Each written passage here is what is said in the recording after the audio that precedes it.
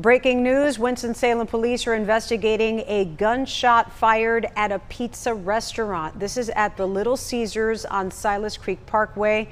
We're told that a customer at the drive through was unhappy about something and fired one shot through the window. No one was hurt here. Of course, we'll keep watching this story and keep you posted. Rescuers